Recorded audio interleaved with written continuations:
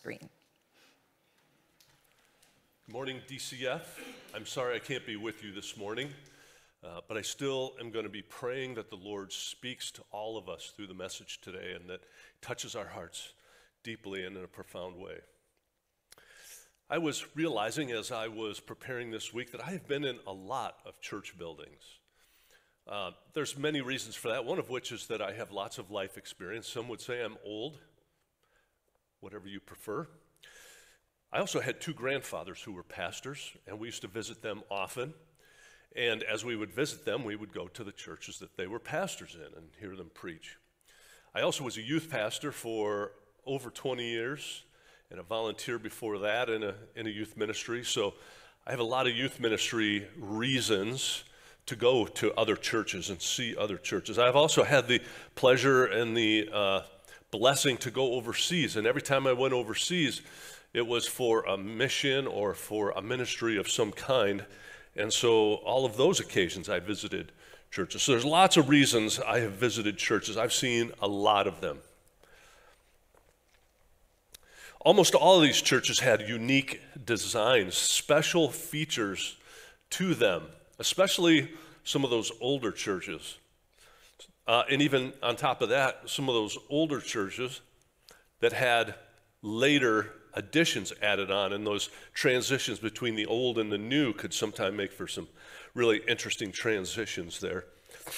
Uh, some of them were spooky. I won't tell you why. Uh, others had cool basements and storage areas and places to go in those buildings that made for some great hide and seek games, made for some great uh, times together with other kids. I have many fond memories investigating strange places in church buildings. None of them was identical to any other one, they all were different. Yet there was one thing, at least for the purposes of today's sermon, there was one thing that they all shared in common. And that was that they were places where the body of Christ gathered to worship God together. Today we're going to talk about another church building well, another building, not a church, but a building where God's people met to worship Him. And we're going to see this in Exodus 25 and then in Exodus 31. I invite you to turn in the Bible that you have there, either the one in front of you or the one you brought, uh, and find Exodus 25. Today we begin a new series. It's called Meeting with God, and it begins with a three part mini series on the ceremonial law. So today will be followed up by two more weeks of ceremonial law. It's instructions that God gives to guide the who, what, where, how, when, and why of worship for Israel. There's a big shift, as Pastor Brad said in Exodus chapter 20. It goes from storytelling mode to instructional mode. Reading instructions is a little harder for me, not quite as exciting, but it's incredibly, vitally important nonetheless. The Bible tells lots of stories. I love stories. I love hearing stories. I love telling stories. We read the stories of the, the creation, the fall. We read stories about the people that lived at that time, some of them in rebellion to God and some others in obedience to God. Scripture tells of God choosing one man apart from all the rest, a man named Abraham, and that he wanted to bless the world through that man. The story is mostly confined to his family after Genesis chapter 12, and we see how God interacts with them. We see several generations thrive, and then many generations struggle in slavery after that. We're at the beginning point where that group is becoming a nation, being set free. Remember that they're only weeks, literally just weeks from their time as slaves, from the time they walked out. For us, it's been several months, but for them, it's been less than two, most likely. Remember that they uh, need to know how to function. And so God is giving them structure for governance and for worship. We saw the legal parameters given back uh, in God's law uh, in the last series. Now we're about to see the spiritual guidelines set in place. And the rest of Exodus is preparations for worship and detailed instruction from God on how to do it. Well, let's begin. If you're able, I want to ask you to please stand. I'd like to pray first, So join me as we pray to the Lord. Lord, we want to hear from you today. We're about to do the most important thing we could do, and that is to read your words. Nothing else we're going to hear today is as powerful and life changing as your words. We want to hear from you, and indeed, we want to hear from you only. Speak to us loudly and clearly through the Holy Spirit. Amen. Starting in chapter 25, verse 1, I'll read the first nine verses, and then we'll go to chapter 31. The Lord said to Moses, Tell the Israelites to bring me an offering.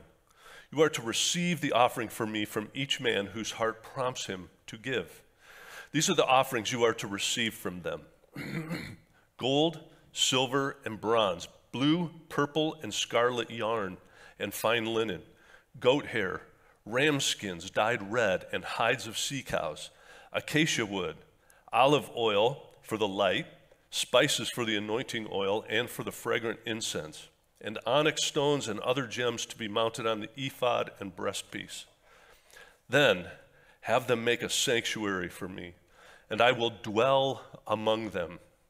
Make this tabernacle and all its furnishings exactly like the pattern I will show you. Then we're going to jump ahead to chapter 31. We're going to read the first 13 verses. Then the Lord said to Moses, See, I have chosen Bezalel, son of Uri, the son of Hur, of the tribe of Judah, and I have filled him with the Spirit of God, with skill, ability, and knowledge in all kinds of crafts, to make artistic designs for work in gold, silver, and bronze, to cut and set stones, to work in wood, and to engage in all kinds of craftsmanship. Moreover, I have appointed Oholiab, son of Ahisamach, of the tribe of Dan, to help him also, I have given skill to the craftsmen to make everything I have commanded you.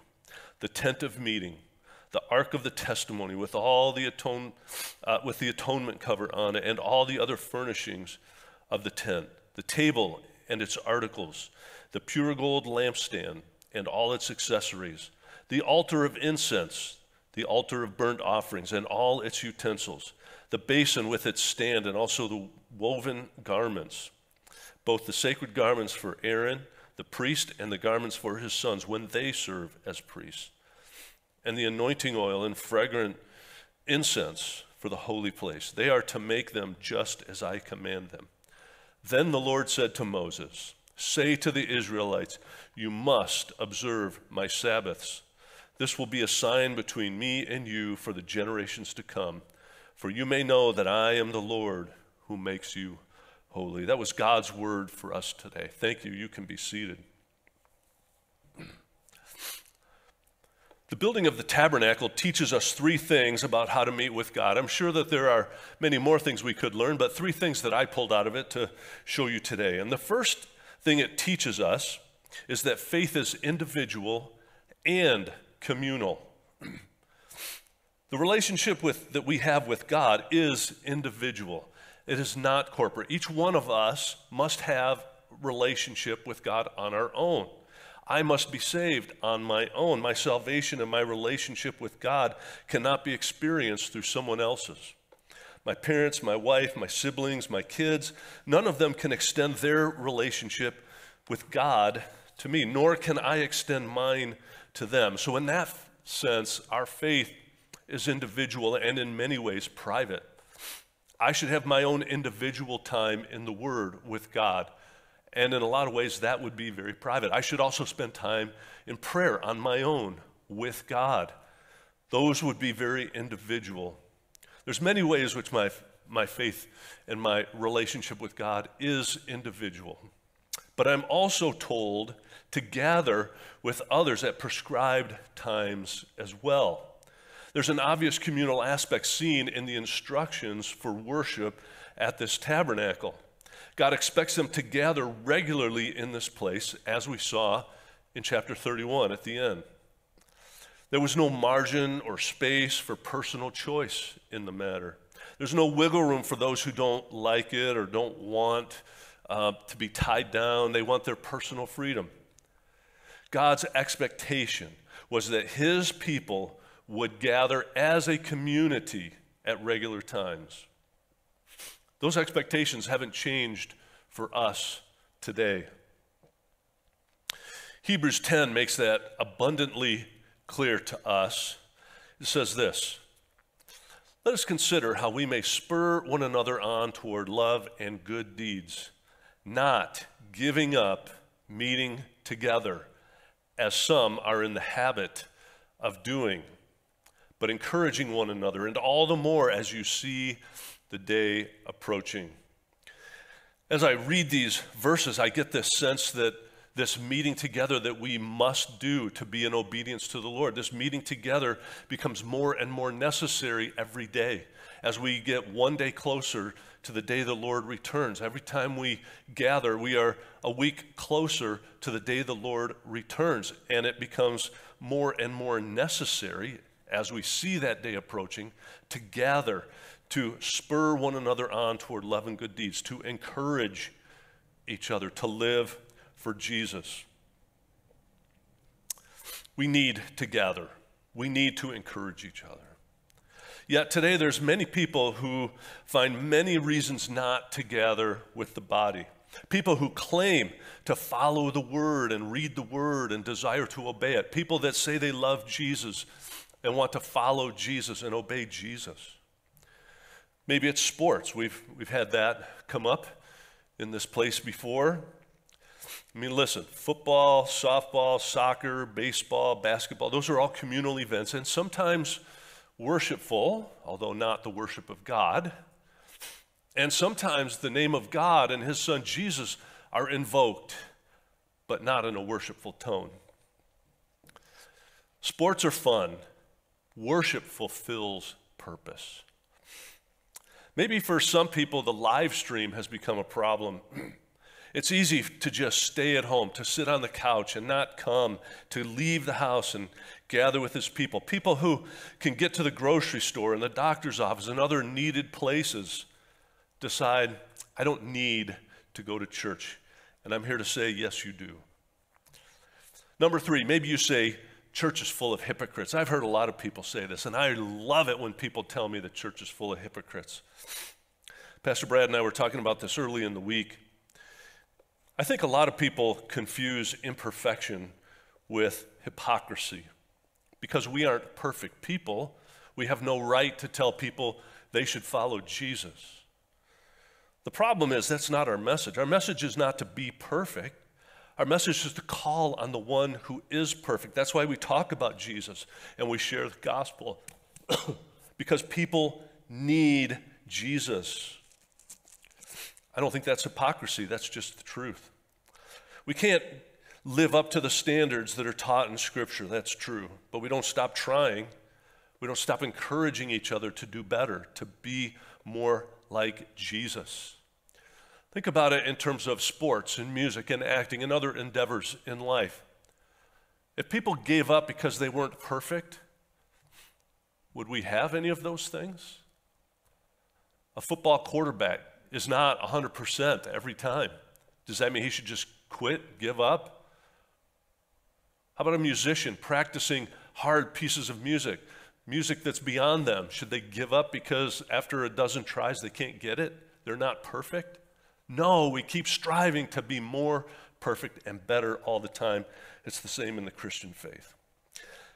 And even then, if somebody says, Yeah, I still think church is full of hypocrites, my message to them is hey, you know what? We'll scoot over and make room. You can come on in, and we'll all go to Jesus together and receive his perfection for our imperfection.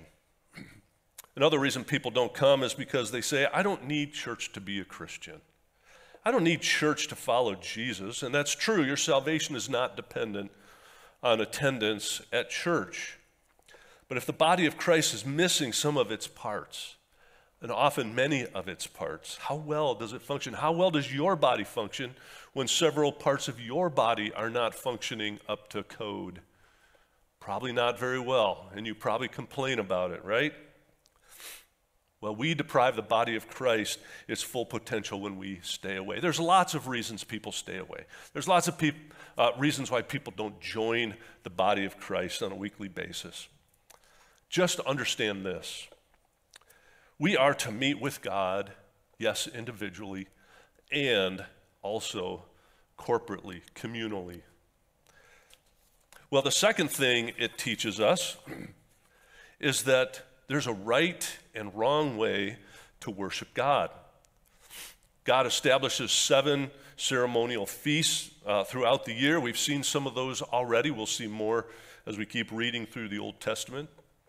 And we're going to see very detailed, prescribed ceremonial observances in the worship life of Israel. Pastor Brad will get more into that in the next couple weeks.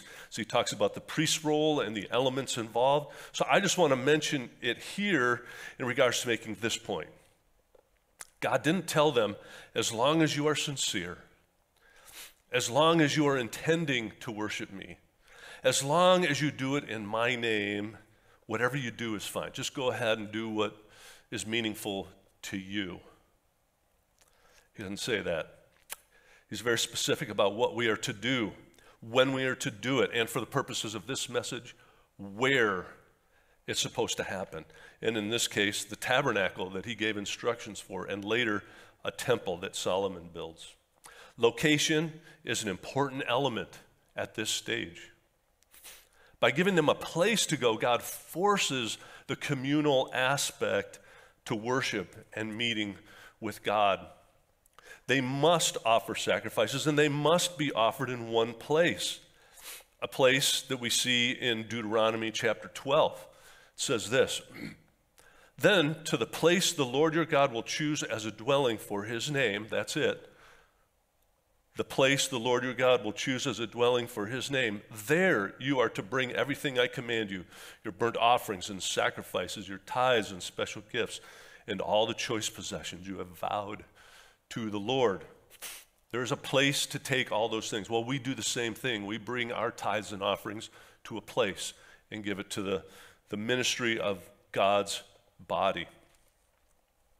There's places all throughout the first five books. I just pulled one. There's over 30 of them where God refers to the place where the Lord your God will choose as a dwelling place for his name. And that's where something is supposed to take place. That hasn't changed today. We talk about this at length in the sermon uh, on the second commandment, which was, hint, hint, July 9. If you want to go look it up, there's a lot of information in that sermon about this. So I'm going to leave it there. I'm not going to dive into all that stuff again. You can go check out that sermon. But the point here is where we worship God communally is part of the right way to worship God. It's just a part of it. All right? The third thing the building of the tabernacle teaches us is that God chooses to dwell with us.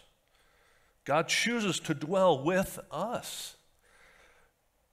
God has always intended to make his place among us for, uh, for his presence, and, and we see it all through Scripture. In Genesis 3, after sinning, we see Adam and Eve hiding from God because God was continually always present with them, and hiding was an indication that they tried to flee his presence. It was nonstop, and it was pleasant until that moment. That's why they're hiding. They hide to get away to no avail. In Genesis 12, we see the covenant with Abraham. We have referred to that often, and we will continue to refer to it often. The, the three parts of that covenant are people, a place, and his presence. We see people, they're headed to a place, God is present. And really, all throughout history, every nation has had people in a place, but they haven't all had God's presence. The thing that makes the people and the, the place special is God's presence.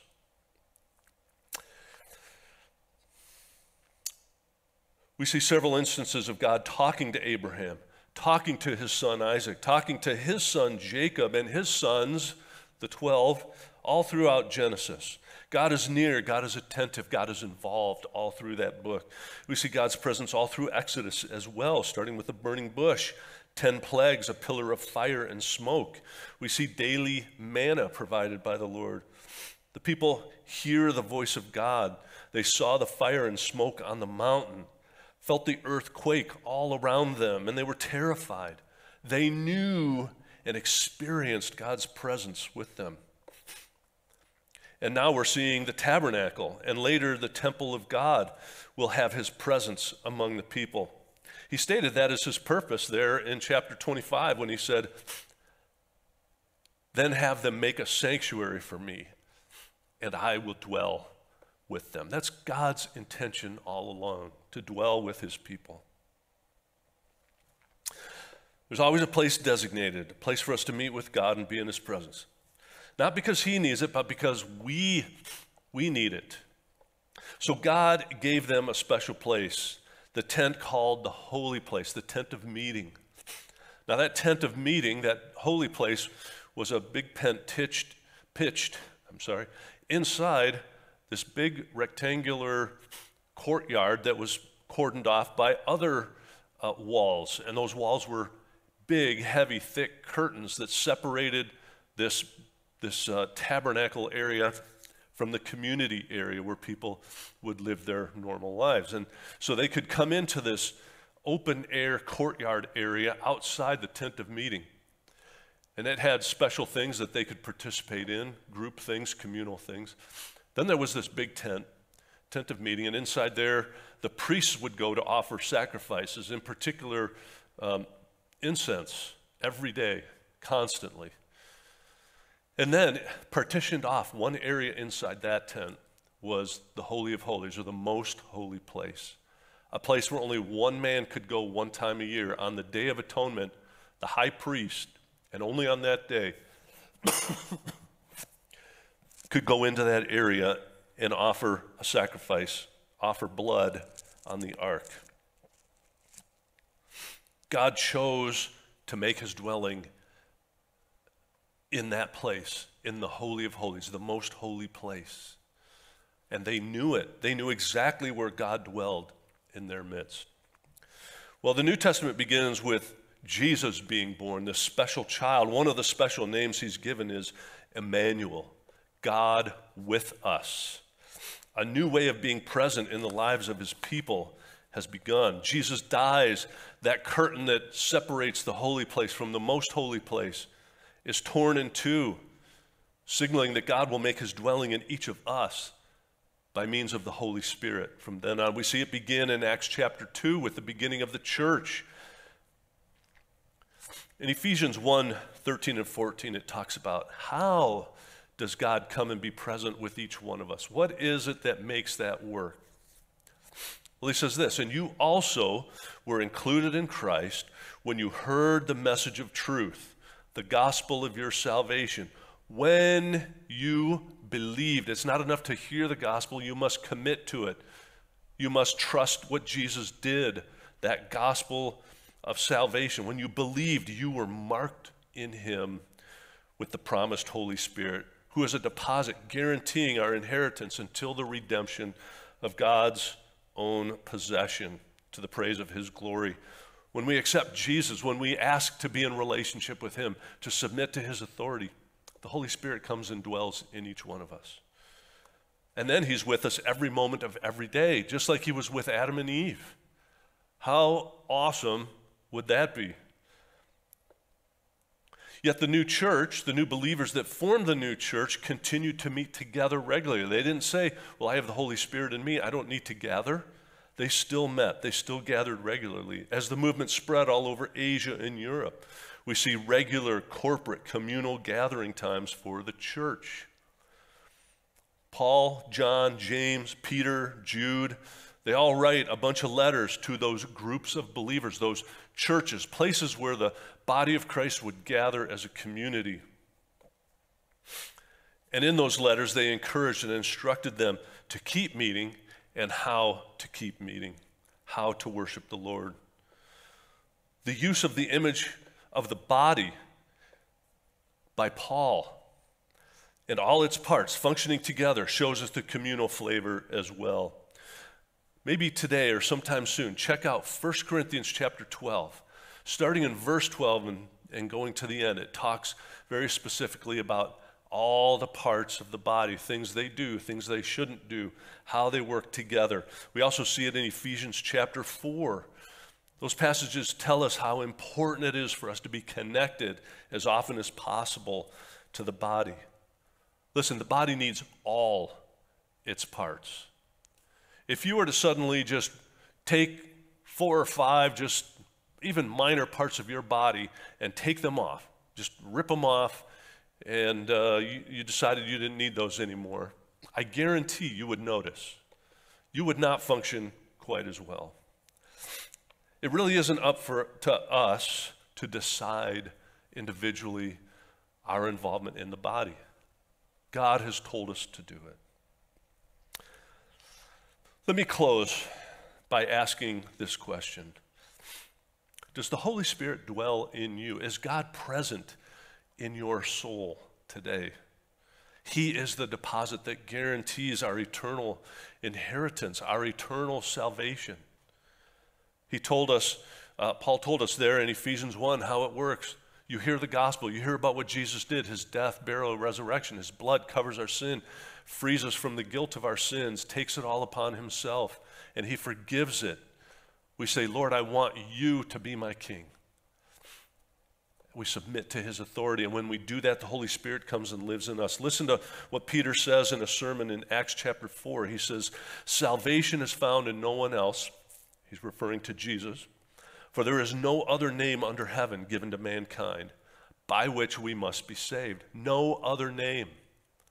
Salvation is totally dependent on calling on Jesus for your salvation. It's the only way we can really truly worship God, and it's the only way we can really truly be included in the body. I would urge you to call on Him today. Join the body fully and completely. Please join me as I pray. Lord, we thank you for your word. We thank you for the body. Lord, I thank you for this church and what it has meant to me and my wife. I know we are encouraged every time we come into this place. We're encouraged to live for you. We're encouraged to keep on keeping on.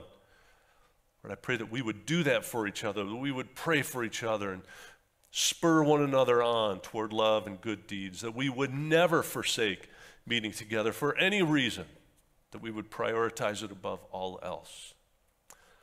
Give us that conviction. Lord, I want to pray for anybody sitting in the room today who does not have a relationship with you because they've trusted in what Jesus did and does not have the Holy Spirit living in them. Lord, I pray that today would be the day that they would call out to you.